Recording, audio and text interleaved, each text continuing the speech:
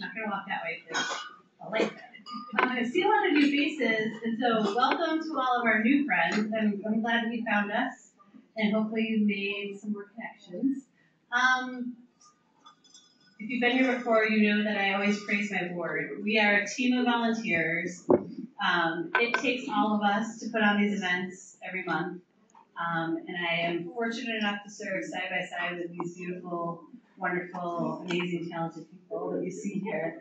Um, so thank you to everyone for your hard work of pulling off great programming every month for us here at AITP. And we have a really incredible MAC. We met last month, and um, we meet twice a year. Our MAC is our advisory board. It's CIOs who help give us advice about trending topics and give us advice about speakers and program ideas for the next year. And so thank you to our board and our MAC, all of which are volunteers, but to help us guide you all to provide value-added programming um, for AITP. I was telling Gary, our speaker today, that we are a 40-year-old association here in AITP and have been meeting religiously second Thursday every month for 40 years, which I think is a, an achievement. Um, we have great programs and technologies. You can see on the left the types of um, programs we've had. Oh my gosh. You didn't need that. Um, that we've had to date. Tonight we're going to hear from Gary from our NC Chamber a little bit about the winning formula for NC for business, why companies are moving here, all the cool things that are happening here. He's ready to answer your questions.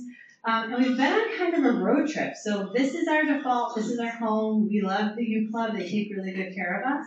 We're here a lot of times, but the next three months we're actually um, going to alternative sites so next month we're going to be at Blue Cross Blue Shield out in Chapel Hill, hearing from their CTO Joe Basanti.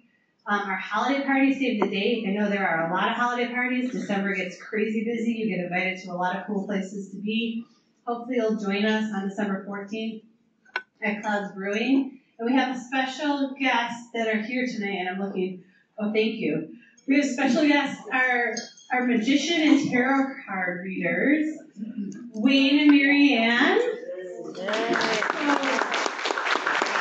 we're going to spice things up, and at our December holiday party, you can have some magic, have some fun, get your future read to plan for your 2024, to know what's going to happen. So they joined us tonight and they'll be back on December 14th. So we're excited about that. I think that'll be way better than my trivia last year that people had positive feedback on. But um, we're looking forward to it. And then January, we're going to be at Pendo.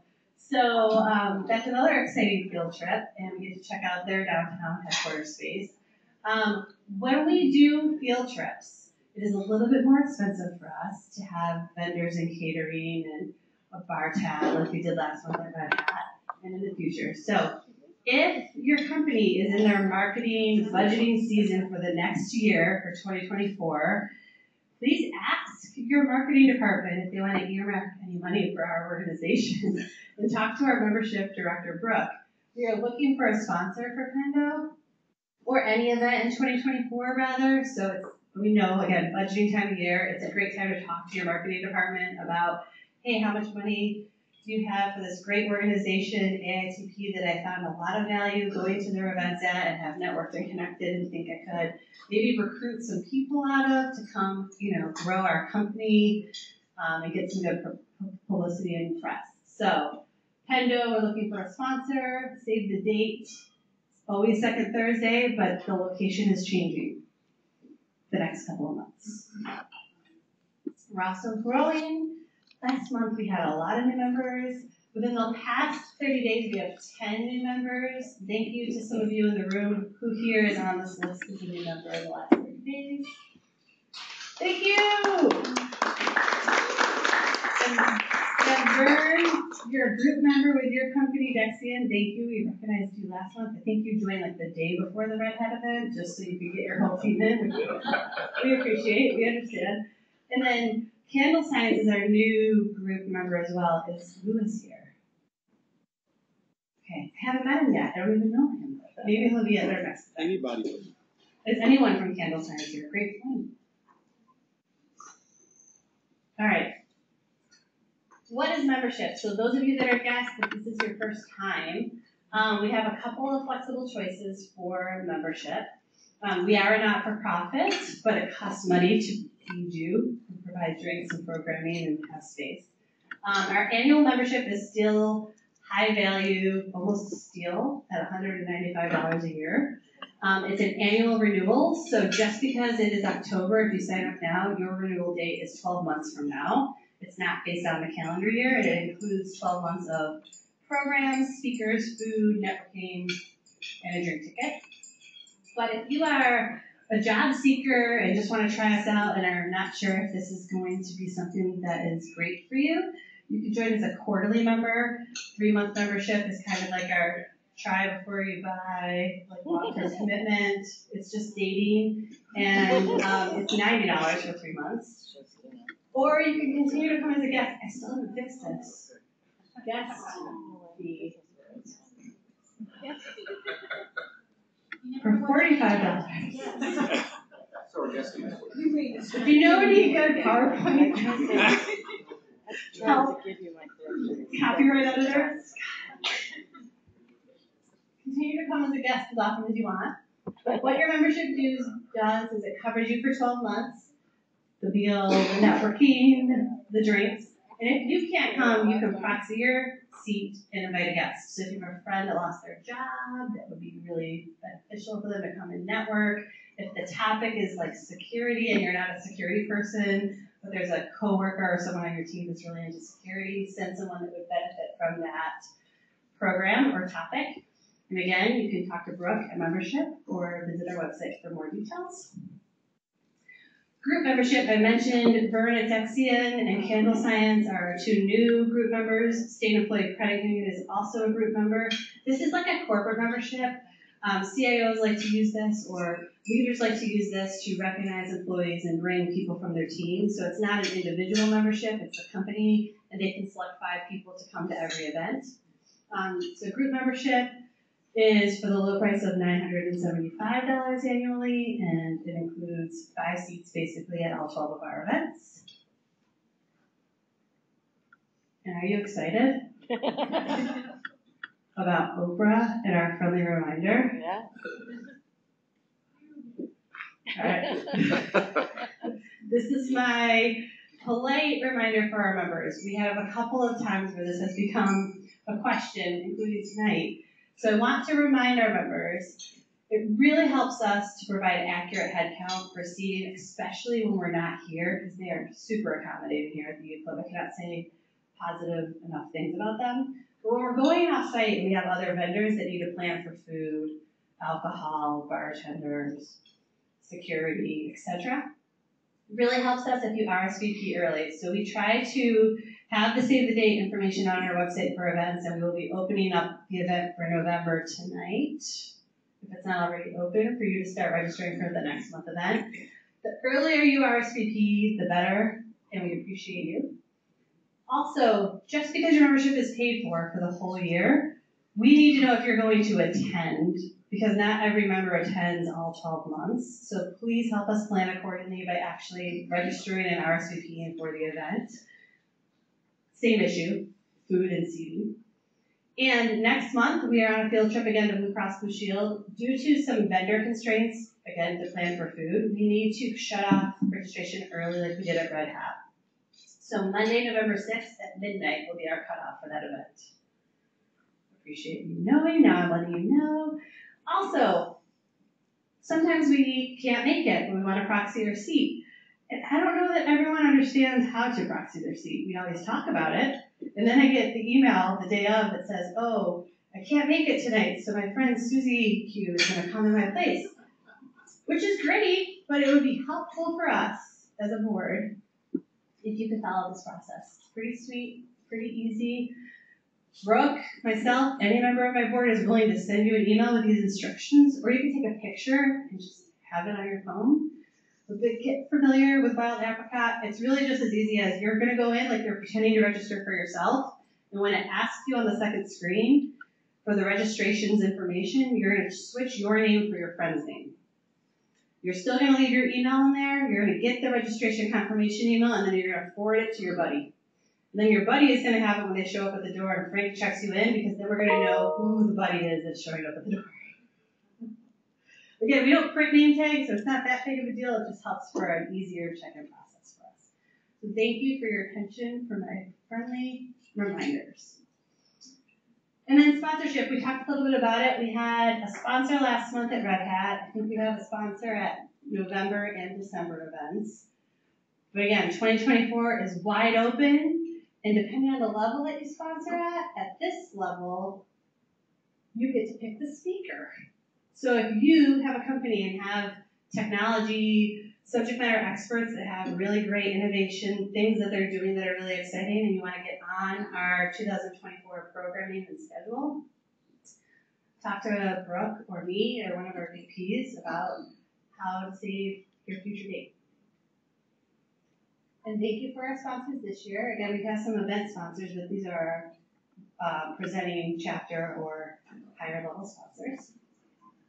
And that is all you have to hear from me. So now we're going to get ready to hear from um, Gary. So Gary is the president and CEO of the NC Chamber, and he has decades of experience in North Carolina. Found out he's an upstate New Yorker like myself. New York and yeah. Um, father was an IBMer, came down here, worked at GSK for a few years before joining North Carolina Business.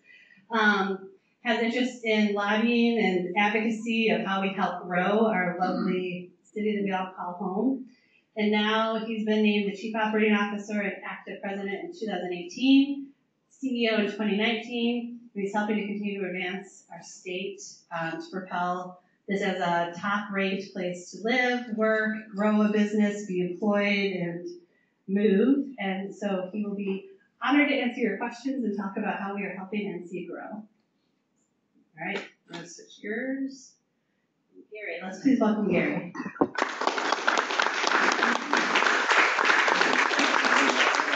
Okay, How do I follow that? welcome to the family. Oh.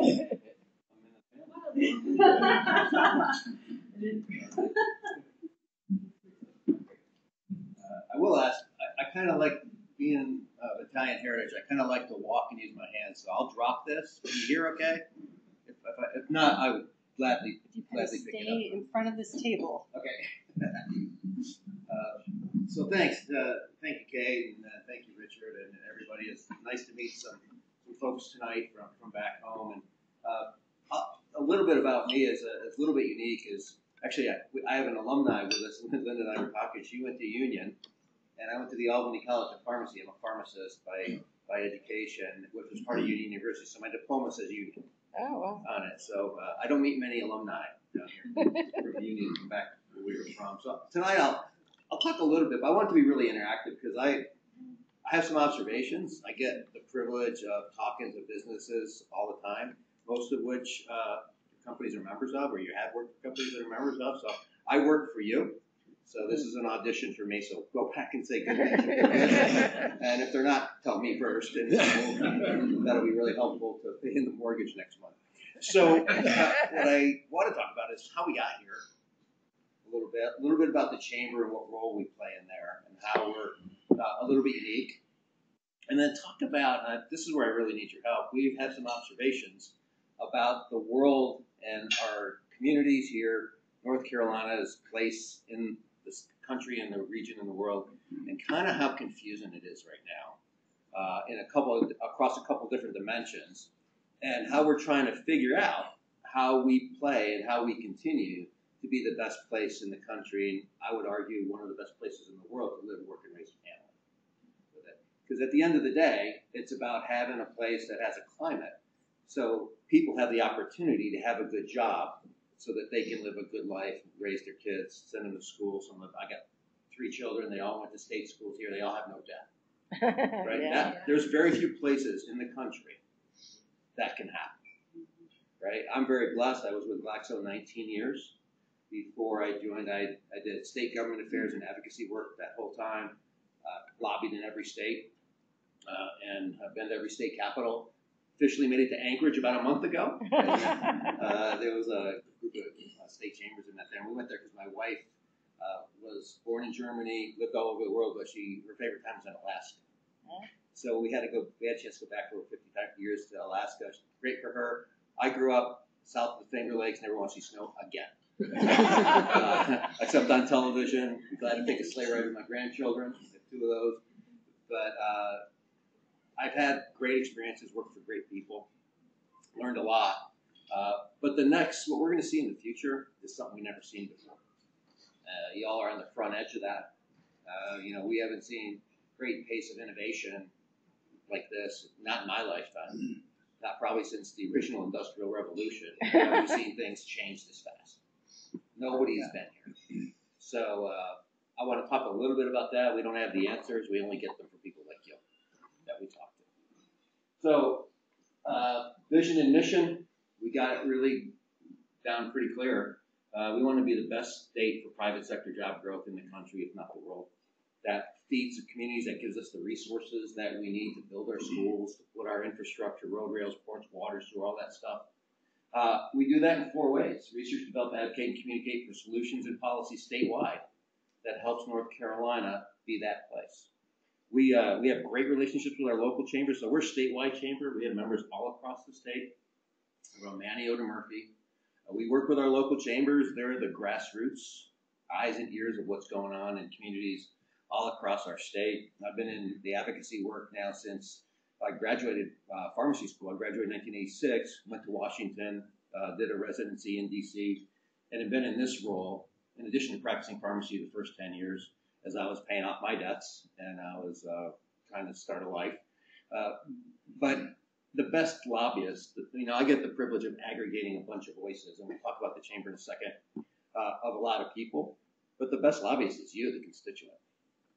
Right? I get to go DC a little bit, uh, thank God, not too much because I still have a bit of sanity left. you know, what's that? What do you say about DC? It's 23 square miles surrounded by reality, you know, which we all live in. Uh, and but I get the privilege of aggregating the voices. But you all are the best lobbyists. You know, the ability of people locally to petition government. Uh, it's you know, I we got to make sure that we're representing you. And so when people come home to their communities, people like you that are serving that they're hearing the same thing from you that they're hearing from us about what, what makes a, state competitive uh, for private sector job growth, which feeds the engine for all the resources we need to, to build a good state. So, what is what's the chamber do?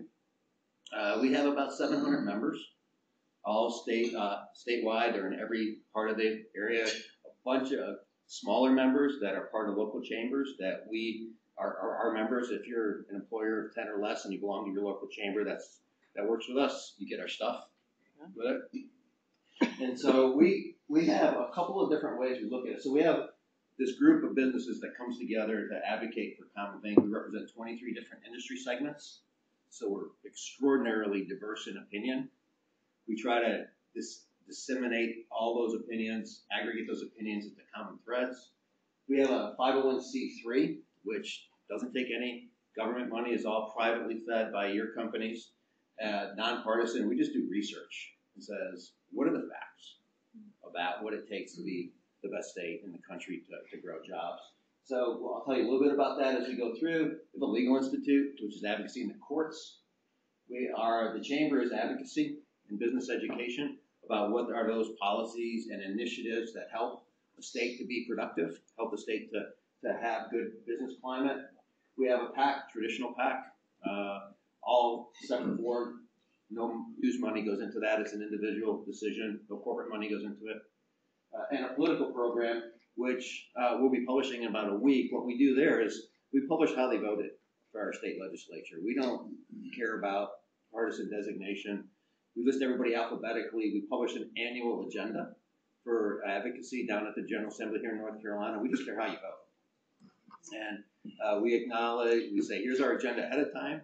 We tell people ahead of time what our issues are, and how they vote, how they vote, and we just tell our members who that is so they can make individual decisions about who they who they support. Together, that it represents a pretty powerful force uh, in down in, in, the North Carolina General Assembly and in the, the agencies about what you are telling us, what your companies are telling us, what people across the state are telling us and means to create a job so that people have that opportunity to build their community. So 2010, uh, we weren't doing that great. North Carolina's a great state. We had a lot going for it. Incredible university systems, great climate. We have RTP. We got Charlotte. We've got great natural resources. Uh, but we weren't as competitive as we needed to be on those key business metrics. So in 2012, uh, we went to real quick stories. We went to Pinehurst with our leadership, our volunteer leadership. I was leading the advocacy uh, group at the time, and we were talking about what's the five-year strat plan for the organization. You know, what is the chamber strategic plan? It shifted about halfway through, and what happened is they said, "Well, who's got the plan for the state? Where is this economic security plan for the citizens of North Carolina?" And it was in pieces, but all those pieces were vertical pieces. They weren't across the organization. So we developed something called Vision 2030, which we'll talk about briefly, which says, okay, if we're here in 2012 and we know we're going to get 3 million more people by 2030, which we've already surpassed. Right? That's the entire population of South Carolina at the time. Mm. We've had more than the entire population of South Carolina back in 2013 come here already, right? And so we said, what is that? What, what do we have to look like by 2030 to be a top state for, for growing jobs and for living a great quality of life? And they developed a plan called Vision 2030. And it's still on our website and it guides our annual plan. So where are we? What have we achieved? What have we got left to achieve? Um, we started here in the 70s, right? And here's where we are today. Incredibly different. We went through some tough times, right? As the state changed, the state evolved uh, with it. Uh, but now, our greatest strength in North Carolina is there's no one industry that can bring this state down. You go to other places, we are talking about it at dinner. It could be an automaker, it could be manufacturing, it could be a number of different things. I grew up in Endicott, New York. My dad was a 40 year IBM veteran. It got my way through great schools, got most of my college paid for. The day that IBM pulled out, it was like a ghost town. One entity. Right? And so we as North Carolina, we have a great diversity of industry here. And that's the reason our highs maybe aren't as high and our lows aren't as low as we kind of just go like this. That's why we're continuing to grow. That's part of the reason we're where we are. So, what do we focus on? Well, historically, if you just do this, we'll be better. If you just do this, we'll be better. You all know that you gotta be able to walk and chew gum at the same time, right? It's not just one thing that helps helps things work better. So we came up with three pillars: education and talent supply. You can get everything else right.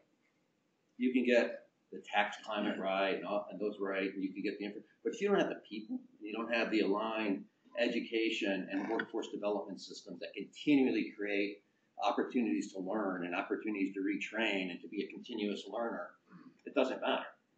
So we developed a strategy on education and talent to help do that.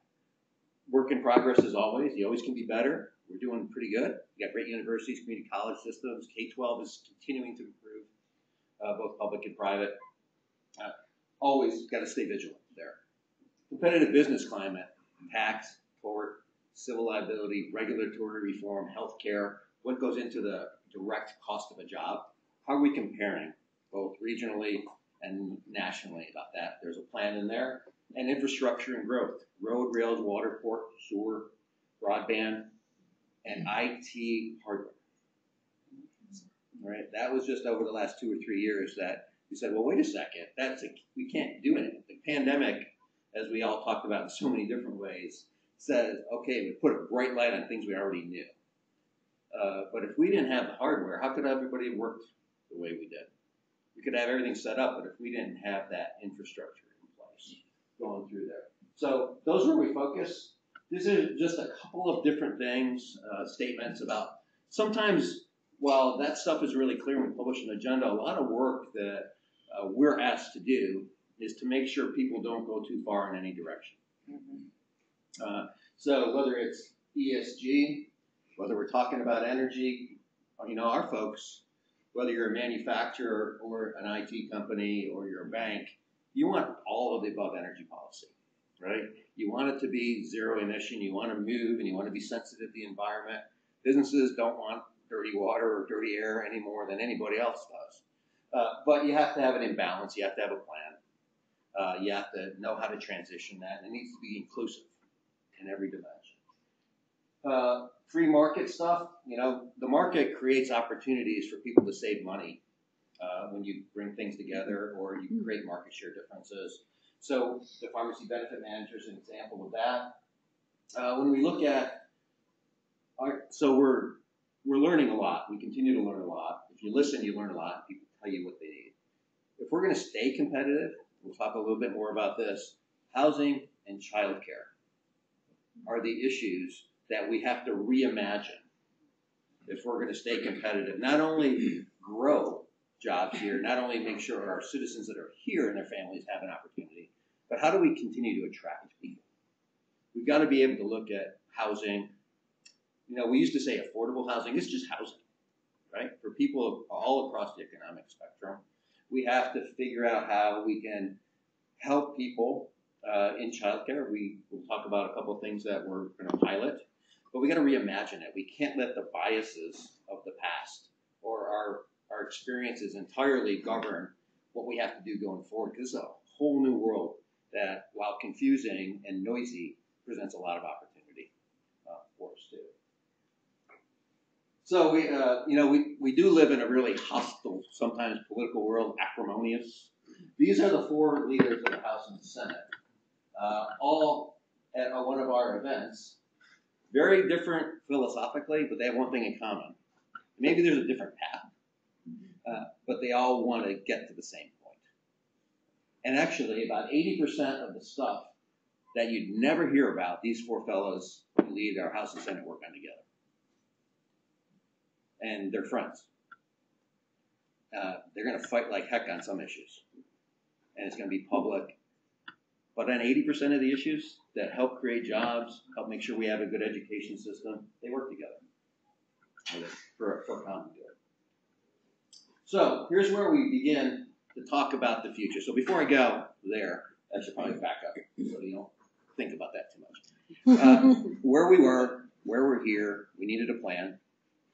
Uh, business community came together, and created a, an entity that was pri- was all privately funded, nonpartisan, just the facts, data driven, and our foundation. We put a program around it of advocacy and accountability through a nonpartisan political program saying these are the folks that are with us. We went from where we were in 2010 to the only the fourth state to be number one for business two years in a row by CNBC. And you don't apply for that. All the other ones you can kind of buy. I'm going to be really candid, right? Buy the advertisement. All those other ones you can kind of manipulate, for lack of a better description, and not to be too candid. Uh, but CNBC doesn't tell you anything. They don't. You don't apply. We just learned they released uh, this year the 86 metrics that they use, but they don't tell you everything. You just got to do it, and they tell you how it measures up. And so we've done it two years in a row.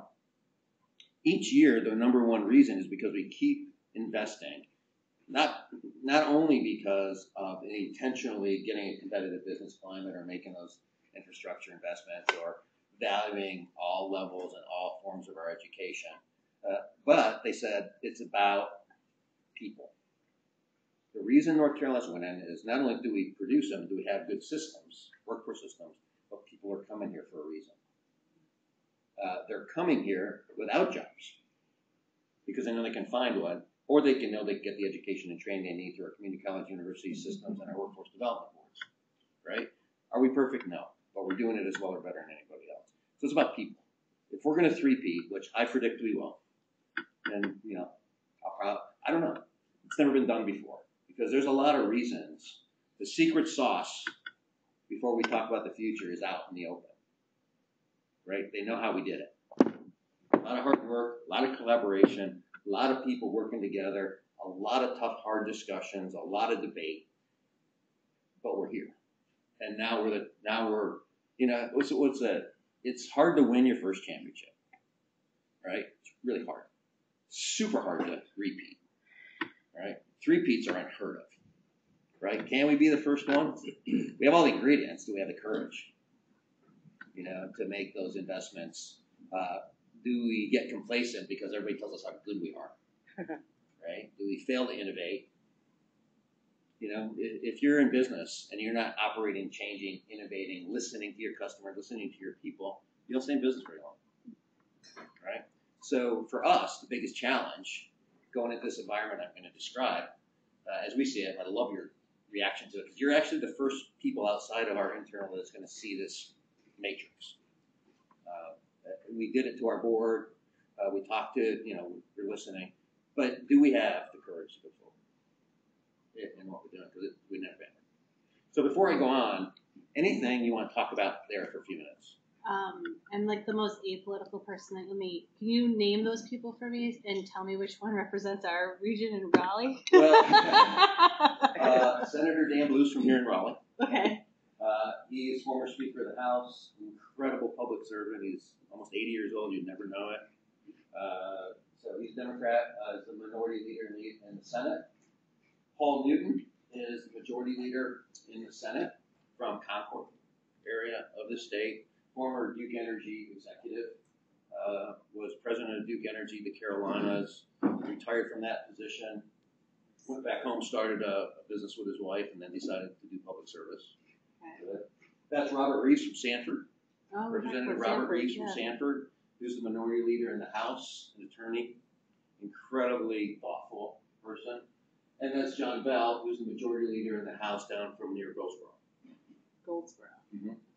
So different parts of the state, clearly different backgrounds with it.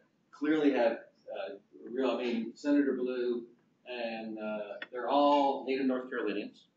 Oh, really? Yep, all from different places, different different places they grew up, uh, different journeys with it. Fight like cats and dogs on fundamental issues, but they do it respectfully. They do it honorably. Uh, you won't hear any of these folks talking acrimoniously or taking personal assaults on the other. Right, and so uh, they they really work that stuff out. Thank you. One of the things um, you mentioned was, you know, supporting and infrastructure for daycare and things. What I didn't hear was anything about um, as our community ages and the increase in disabilities. Um, I was reading reports last night. I have a special needs um, son. That there was this um, effort and reports that started in like 2016, and they reported out like where those efforts are going. Um, right now, I think there's something like 12,000 people in the state of North Carolina on the waiting list for the waiver program.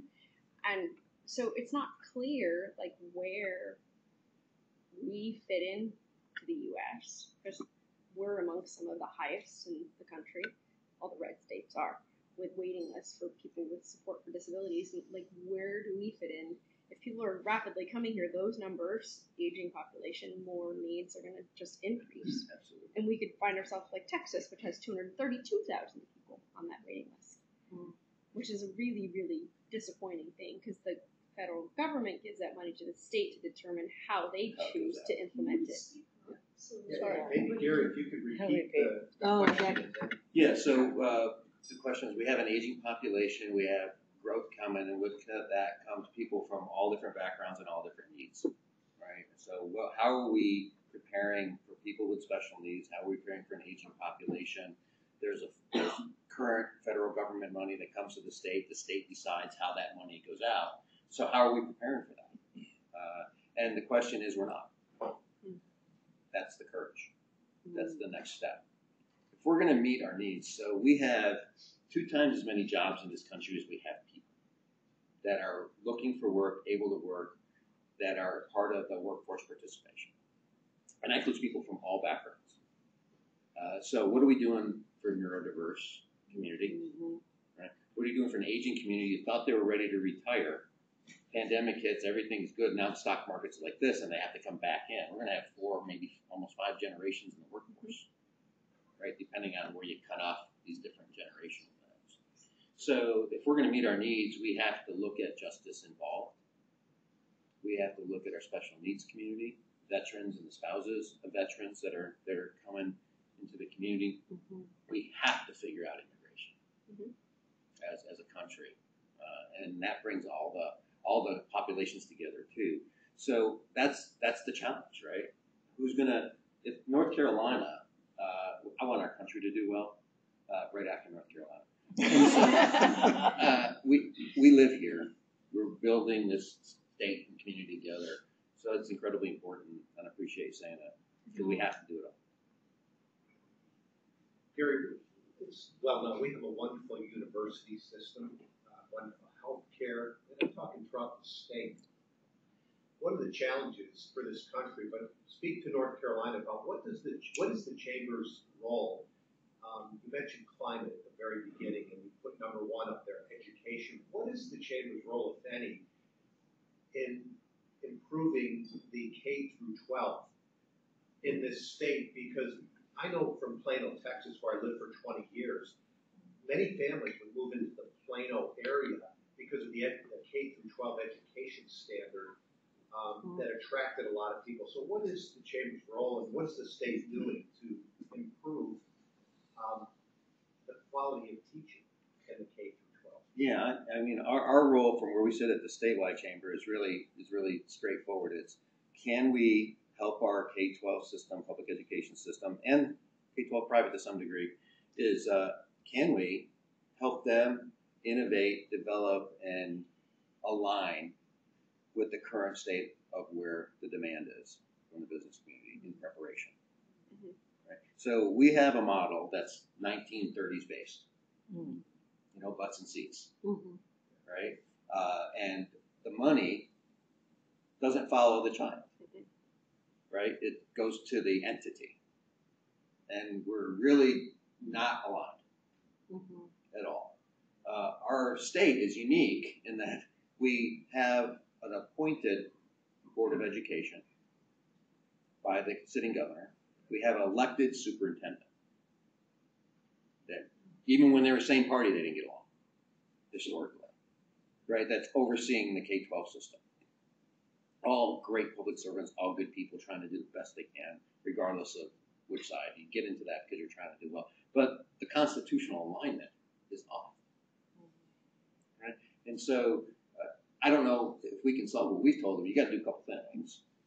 and uh, But we're not going to say which one because when I tell you, you're going to say, yeah, you wouldn't have a job if you said which one to do.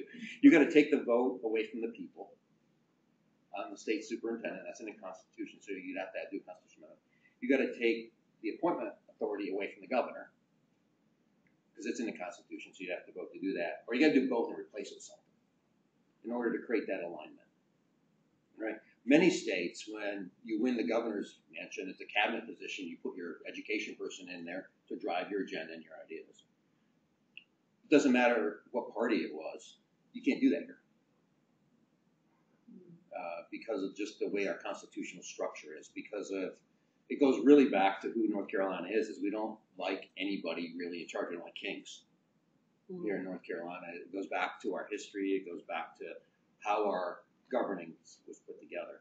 So our role is to say, yeah, that's fine. Uh, but there are good pockets of things going around, and how do we incrementally change the policy to align with the needs of the people?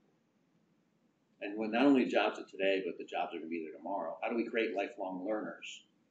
Structurally, are we going to change that? Probably not. There's not enough money. And in this really tough, acrimonious political world we live in,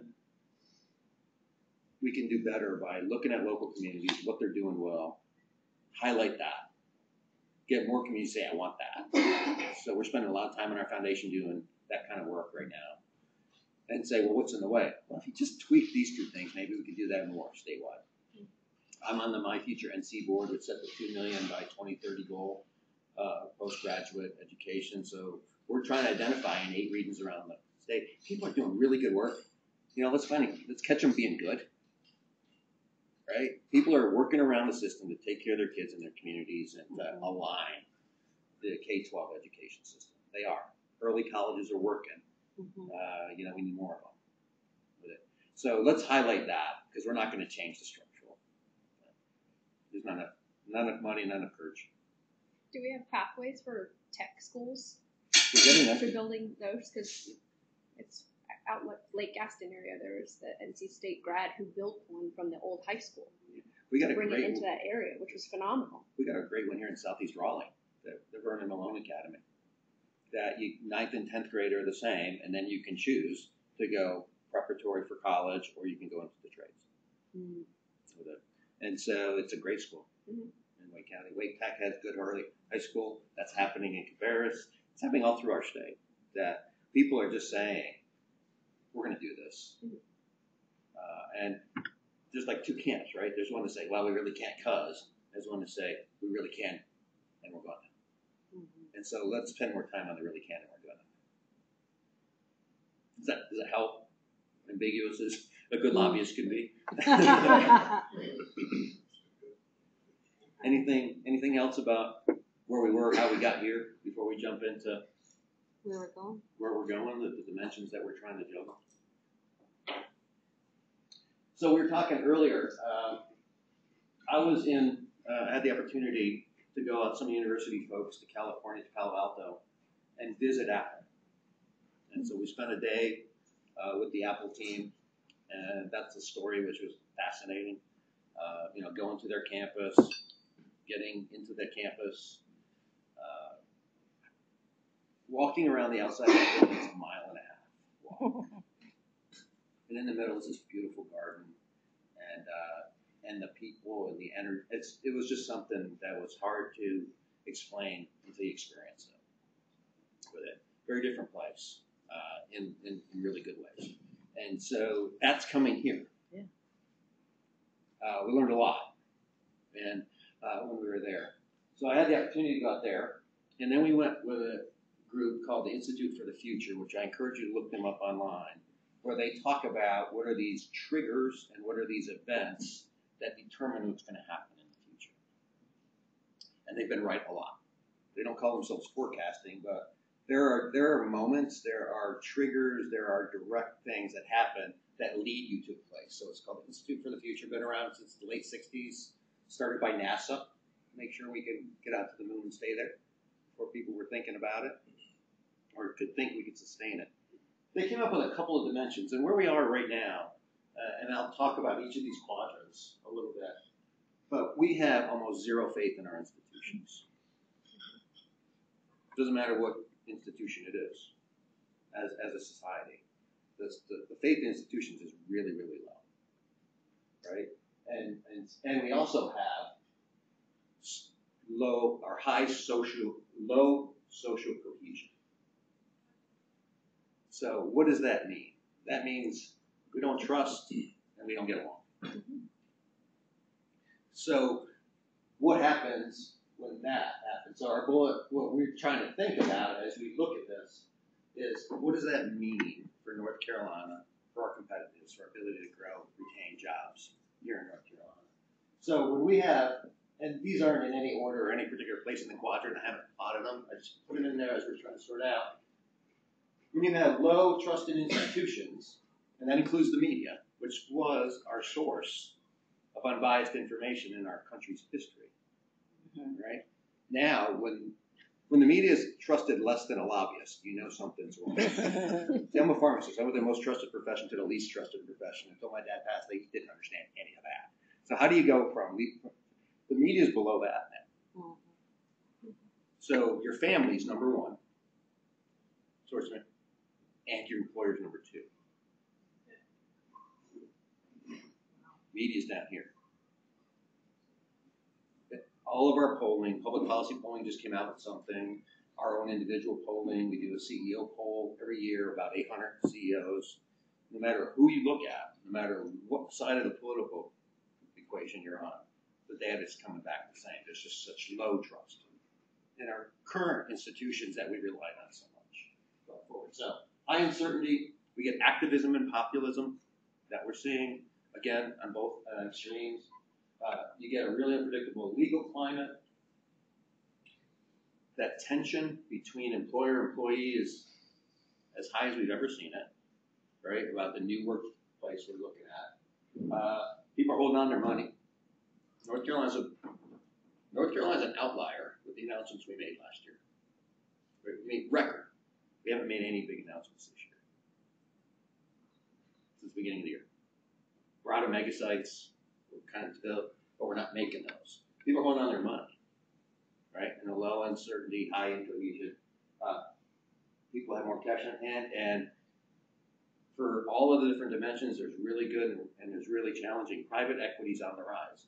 North Carolina's a good place to do private equity uh, uh, transaction, that also means that families that had their own business, their own family farm, their own medical practice that don't have a way to get their money out of it, private equity is coming into places it hadn't come before. So what does that mean for the fabric of our manufacturing, family-owned manufacturer? What's it mean for our farms? What's it mean for a great medical practice that doesn't have family to give it to? So it's it's it's it's really confusing and, and incohesive. So uh, we'll talk about the NC Chamber in a second. And uh, so we think we're here. This is where we think we are now. There's a lot of noise, uh, a lot of uncertainty. Pandemic accelerated that happen. It was happening before. We have a birth rate that's half of what it was 24 years ago. Half, there's not many people. There's not people to fill the jobs that we have. Right? Our systems are, are, are not aligned. It's just a very different time. But that also gives us opportunity. So, second piece,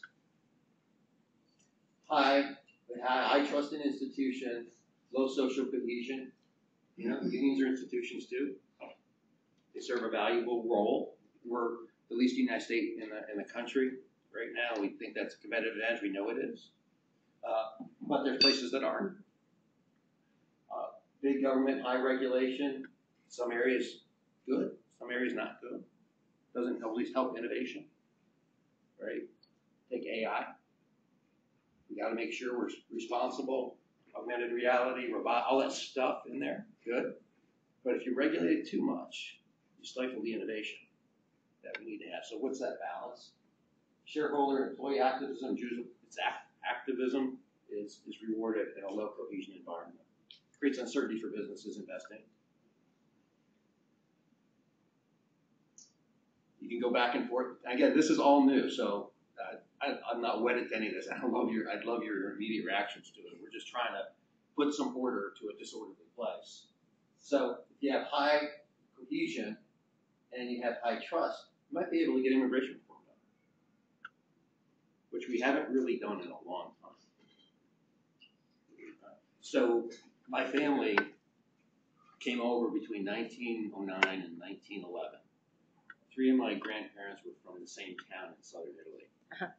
Came to work for Endicott Johnson Shoes because they needed 20,000 employees for the three tanneries and factories in Endicott, New York. When Endy, Mr. Endicott and Mr. Johnson got together, one from Boston area, the, the other from to build this entity, which gave people their lives. We figured out immigration from now. Yeah, it wasn't a border like we're challenged with now. We figured it out. We figured it out before the internet. We figured it out. We can figure it out. We can protect our borders, have high walls, big gates, a system to do that. But you need high trust in institutions, which we don't have. And you need high social cohesion, where the good trumps the individual. So, uh, low trust in institutions, high cohesion. Uh, so we have low trust in institutions right now. If we had high social cohesion, uh, what does that mean for the business climate? Unknown, but could be better. Business you. So we were talking a little bit earlier. Businesses are not going to wait for our institutions that are way behind and don't change and operate at the rate pace of business to order to attract, retain, educate, retrain people in this environment that we're living in. They're not going to wait. They're going to create their own. They're going to create their own schools. It's already happening. Mm-hmm. Right? They're going to try to partner with a local K-12. They're going to try to partner with a community college. They're going to partner with the university. University system in North Carolina just launched an entity called Project Kitty Hawk. Have you heard Project Kitty Hawk? They're taking the 17 institutions and they're going to go little by little. They started with North Carolina A&T, no, excuse me, North Carolina Central, and they're going to make degrees online for our whole university system. And you say what you want to do, and they'll tell you what university you can do it, you never have to leave your living room, other than some experiential components. So you can get a degree from Chapel Hill and be down east. And you can piecemeal it together. That just launched that two days ago is when they went online with Central, and they're going to bring ECU up next. The goal is to get all 17 campuses agreements so that any of us are working, are changing careers while we're working, that we can take advantage of that university system's opportunities from wherever we live. Their customer's business, small and large. That changes everything. Why? Low trusted institution, because it hasn't changed as fast. You know, our university system here is saying, okay, we're going to meet people where they are. Interesting. We don't know if it's going to work, but it's we're supporting it because that kind of innovation needs to be supported. So before I move on, are we crazy?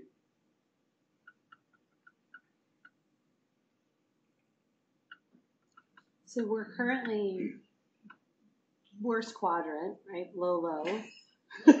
Where no one wants to be if this was Gartner. And you're trying to get us, usually this is the best quadrant for Gartner, high, high. Or are we trying to go low, high? Business climate, business you. I don't know yet. You don't know I'm being yet. honest. So what we think, because businesses don't like volatility, and because businesses are not here or there, so they don't like the extremes. We think if North Carolina's going to continue to win, we got to have the balance in the middle. That's why the chambers. We think somewhere in there, depending on the issue, the time, the change, because things are going to change, the innovation, the rate and pace, we're going to have to float between them So you want to be without neutral. we want to be as neutral as we can be. So when we see ourselves being pulled in any direction, okay, what do we need to do to get back to neutrality? So something neutral that's not volatile. Right? What can we agree on? What's working that we can agree on?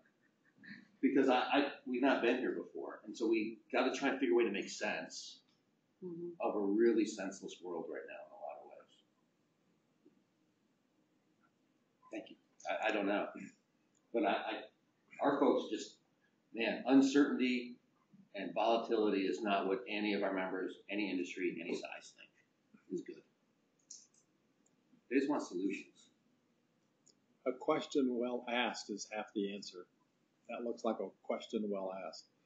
You don't know what the answer is yet, but it looks like you've laid out various elements of it that you can now discuss individually.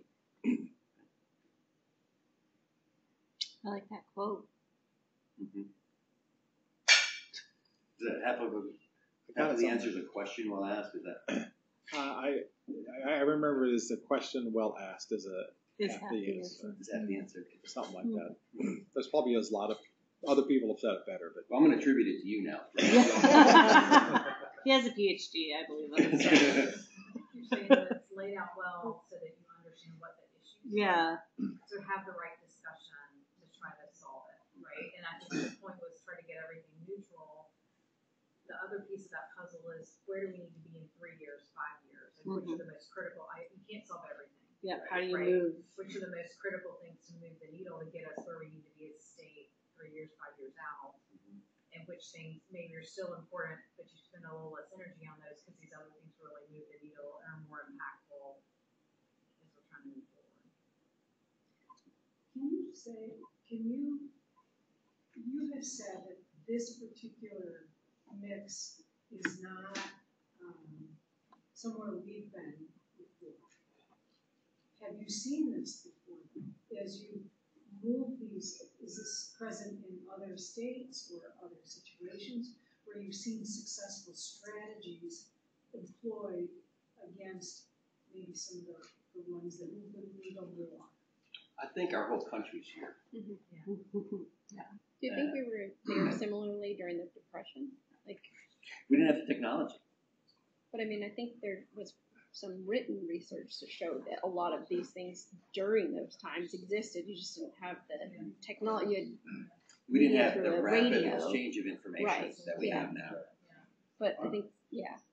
So are there, like, I know you said the whole country is in the quadrant, but are there states that could be used as a benchmark that are somewhere in a better quadrant? I, I think there's states that are doing some sites better than others. Right. Uh, but they're not doing as well as us, and, and so I don't think anybody's really. I, I don't see the challenge that we're wrestling with uh, is a we're leading, right? So we're leading for a reason. So we may be able to benchmark on the education piece. We may be able to benchmark on intellectual property transfer out of our universities. Uh, but there are, but no one's got the talent thing figured out.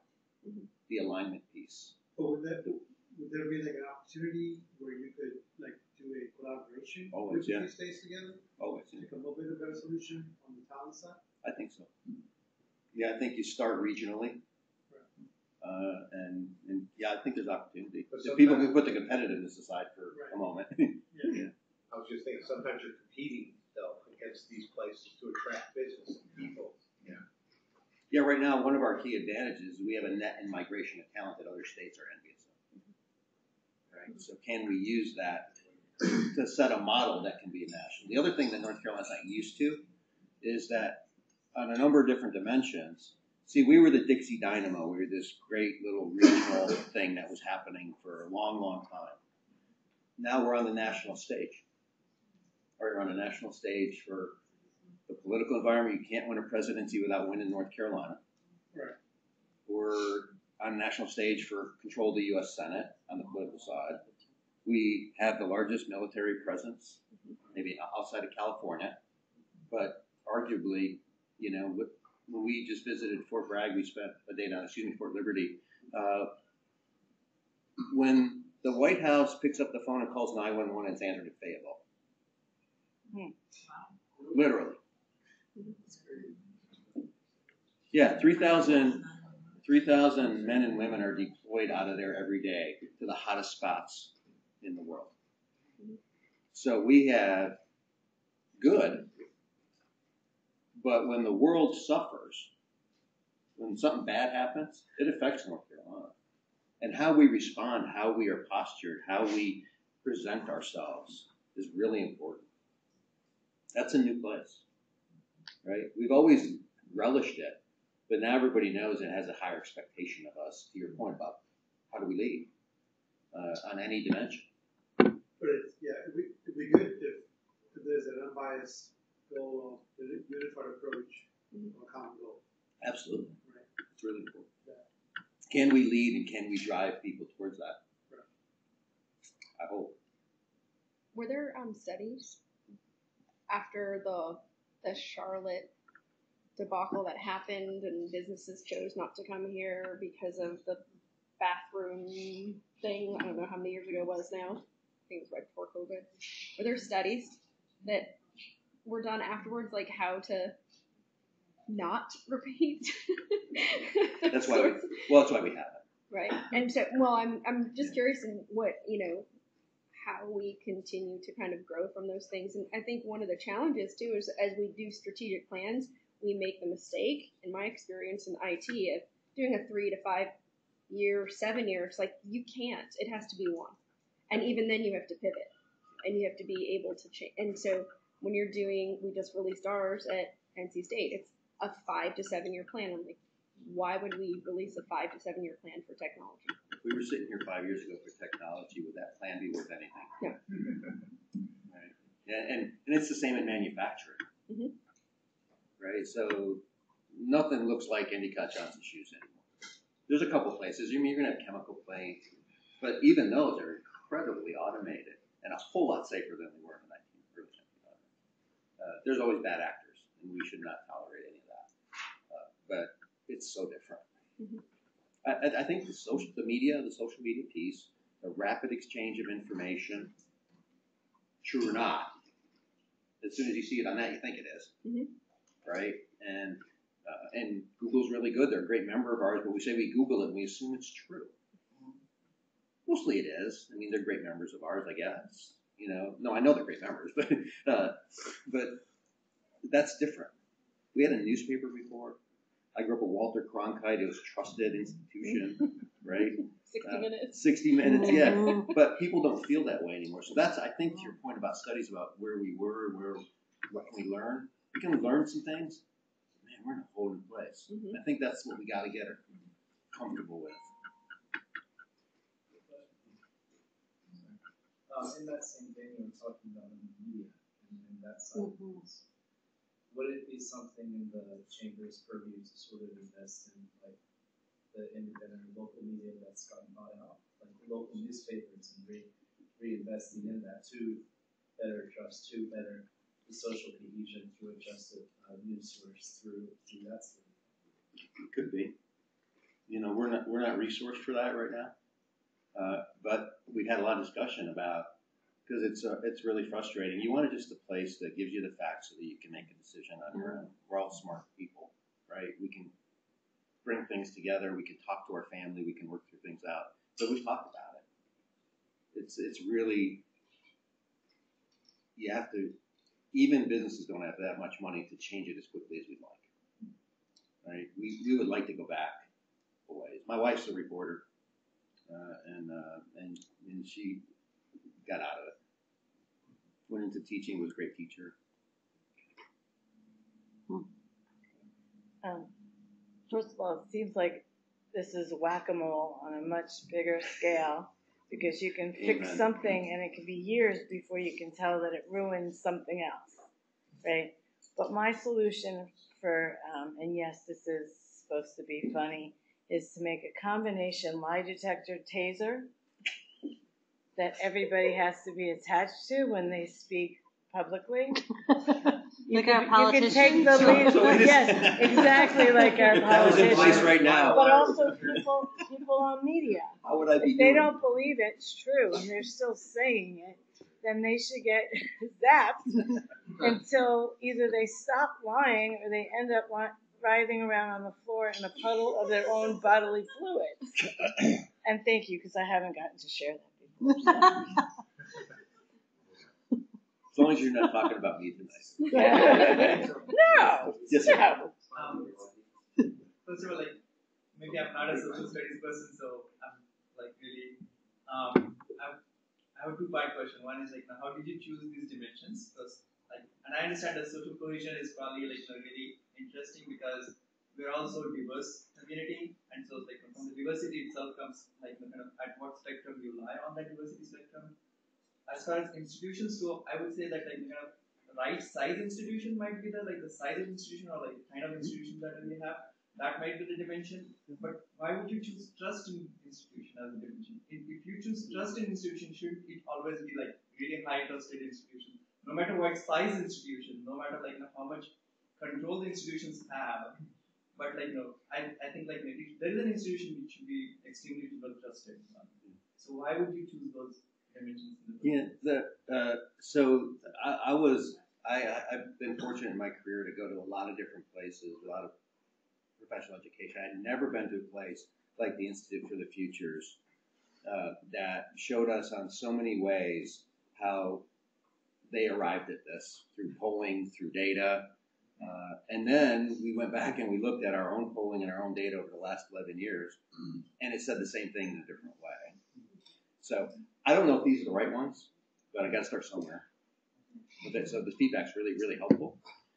Uh, I, we were out there just talking about education and the future of education, uh, about how we align things. And one thing was really interesting, which in the future, which is 2030, we all have investment portfolios right now, right? Or not, maybe we all, well, we all have a way to save money for retirement. By 2030, the generations that are coming behind us are going to have income portfolios in addition to savings and investment portfolios. So you can work from wherever company, right? You can work this, maybe you work in the day for this company, night here, different dimensions, maybe you work in a coffee shop, all that stuff that historically was really frowned upon, right? Uh, the gig economy, that that's going to be normal, right? We can not like it. You know, I'm 60 years old. I can not understand it. That doesn't mean it's not going to be real, right? And that we don't have to think and listen and learn and adjust. So that's the cohesion part that began to resonate with me. With it, and uh, we were trying to, and the feedback's really good. We were just trying with our with our leadership and our board to give them some framework to have hard discussions. So that we picked them, and and that's a good point. It could be we can go one level deeper and say, okay, what's size? How does size affect that? We haven't studied. So thank you. Do you think um, trust in businesses instead of trust in institutions might be a more valuable metric? Because, like, you know, what's going on with Google and stuff with Apple and TikTok, that, you know, that correlates to how people spend money, how people do things. Even, like, people are going to college, but if people don't, like, want to work for a company or a company doesn't hire them, doesn't do anything for the economy. Yeah. And so, like, how Could be. Yeah. I mean, I was just I was at the Kenan Institute today for an event, and uh, and it was uh, frontiers, and we were talking about the future of the workforce, what that looks like, and folks brought up the same point. I mean, there's there's low trust in businesses. It's generation. There are generational differences, for good reasons with it. So yeah, that that could be a piece too. It's really so when we poll people, mm-hmm. it's, it, there's there's this stuff that so you, when you poll a person about should a business be involved in a social issue, generally speaking, people don't want corporations involved in that. But it's okay if mine does, Yeah. right? So we're trying to sort out. I want my company to represent my feelings because otherwise I don't want to work for that company. That's a that's a, a, a shift. Uh, but we don't really want companies because we don't trust them saying that the company thinks this and it represents me, unless it agrees with me.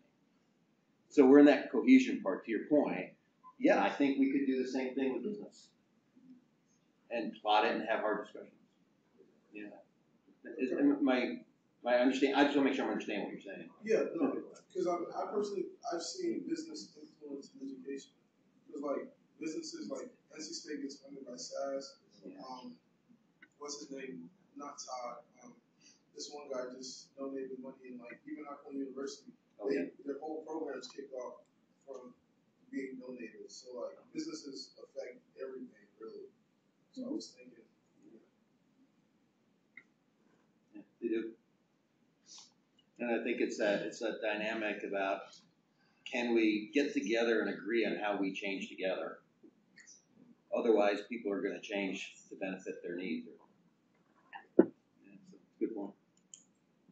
I'm, I'm at 804. You're okay. Is this the last slide? We've Uh, been on this slide. Did you have more?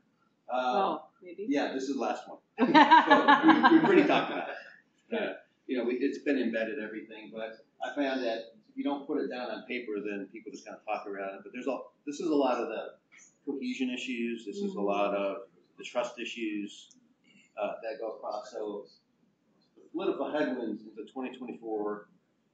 North Carolina's gonna be really noisy, right? Uh, we got a presidential election. We're in the middle of that, whether we want to be or not, right? You got an open governor's seat, whether we want to be or not, attorney general seat, whole legislature's up. People talking hyperbole and extremes, and they say stupid stuff, right? And uh, and so, party fringes, dark money, super PACs, uh, no matter where if they exist, how you feel about them, they're legal. So we got to figure out how to navigate with them, for sure. Uh, digs and daycare, homes, home, uh, excuse me, housing and job care. Really important issues. Uh, how is life together versus this, right? Uh, the courts, eh, our position is they got to be balls and strikes, whether they're populist or whether they're activist. Uh, they just call balls and strikes, no matter what party that they're on and uh, it's going to be like this. 2024 is going to be very volatile. We're going to be center stage. Uh, there's a lot of stuff going on around the world that affects North Carolina because of our agriculture industry, which is 103 billion dollars a year this year. Agriculture, agribusiness. We don't just feed North Carolina; we feed the world. And we have some of the most innovative agribusiness companies in the world here doing incredible things. So, what does that mean? when the world needs food, right? We're better ways to grow their crops. So we're in a different place. Awesome. Let's connect. Thank you for the feedback and thank you.